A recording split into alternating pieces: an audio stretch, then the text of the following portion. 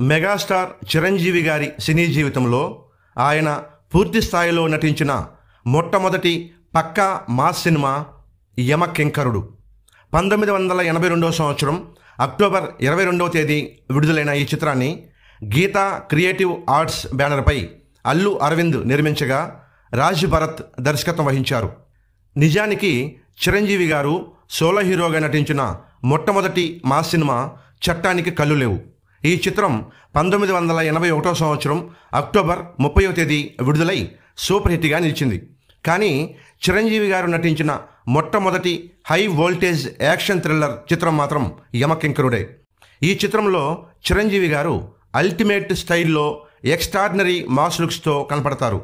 మెల్ Gibson నటించిన Mad Max అనే Hollywood చిత్రం ఇన్స్పిరేషన్తో ఈ చిత్రాన్ని నిర్మించారు నిర్మాత అల్లు అరవింద్. యమకింకరుడి చిత్రం ఆ తర్వాత కాలన్ అనే పేరుతో మలయాళంలోకి దుష్మనోంకా దుష్మన్ పేరుతో హిందీలోకి డబ్ చేయబడింది. ఈ చిత్రానికి ఉన్న ఒక విశేషం ఏమిటంటే చిరంజీవి గారు హీరోగా నటించిన చిత్రాలలో హిందీలోకి డబ్ కాబడిన మొట్టమొదటి చిత్రం ఇదే కావడం గమనించవలసిన విషయం.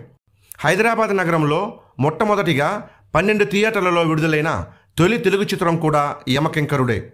మొదటి వారం ఇరవై తొమ్మిది ప్రింట్లపై పద్దెనిమిది లక్షలకు పైగా వసూలు చేసింది యమకింకరుడు ఈ చిత్రం విజయవాడ విజయ టాకీస్లో డైరెక్ట్గా యాభై రోజులు ఆడింది.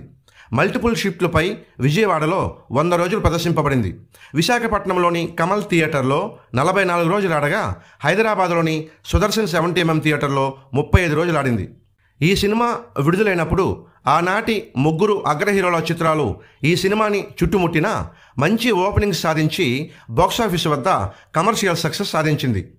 ఈ సినిమా విడుదలైన పంతొమ్మిది వందల ఎనభై రెండవ సంవత్సరం అక్టోబర్ నెలలోనే చిరంజీవి గారు నటించిన పట్నం వచ్చిన పతివర్తలు ఒకటో తేదీ బెల్లారంగా పదిహేనవ తేదీ విడుదలయ్యాయి.